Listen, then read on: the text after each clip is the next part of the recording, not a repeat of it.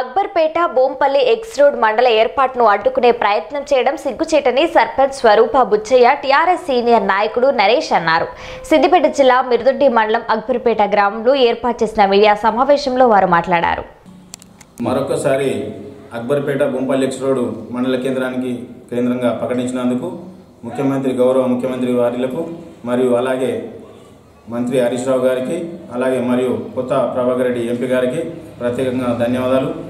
మా అక్బర్పేట బొంపల్లి రోడ్డు మండల కేంద్రాన్ని ప్రకటించినందుకు ఈ చుట్టుముట్టున్న ప్రాంత ప్రజలు కోరిక మేరకే ఈ అక్బర్పేట బొంపల్లి రోడ్ను మండల కేంద్రం ప్రకటించడం జరిగింది.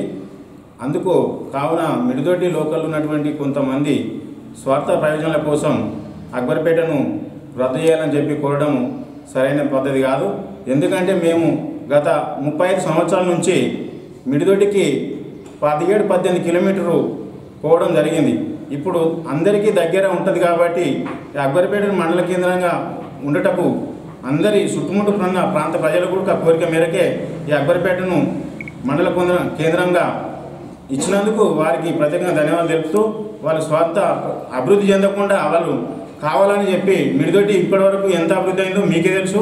మా అక్బర్పేట అభివృద్ధి అవుతుందనే ఉద్దేశంతో అద్దని చెప్పి సరైన పద్ధతి కాదని చెప్పి మిడిదొడ్డి లోకల్ వారికి ఈ సందర్భంగా తెలియజేస్తున్నాను అక్బర్పేట ముంపల్లి ఎక్స్ రోడ్డు మండలంగా ప్రకటించినందుకు ముఖ్యమంత్రి గారికి అలాగే మంత్రి గారికి అలాగే కొత్త ప్రభాకర్ రెడ్డి గారికి మా అక్బర్పేట కుంపల్లి ఇక్కడ చుట్టుపక్కల పరిధి ప్రాంతాల ప్రజల తరఫున మేము ప్రత్యేకంగా ధన్యవాదాలు తెలియజేస్తున్నాము.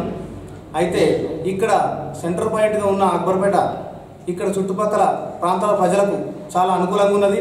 మేము కూడా ఎన్నో సంవత్సరాల నుంచి కూడా ఈ ప్రాంతానికి ఈ అక్బర్పేటను అక్బర్పేట బొంబల్ ఎక్స్ రోడ్ను మండలం చేయాలని చెప్పేసి మేము ఎప్పటి నుంచో వినియోగిస్తున్నాము వాళ్ళు కొంతమంది మృదొడ్డి లోకల్ ఉన్న ప్రజాప్రతినిధులు కావచ్చు అలాగే ఇంకా అక్కడ ఉన్న కార్యకర్తలే కావచ్చు వాళ్ళు స్వార్థం గురించి మా మండలంలో కొనసాగించాలి. మా మండలంలో ఉండాలంటే అది సరైన పద్ధతి కాదు.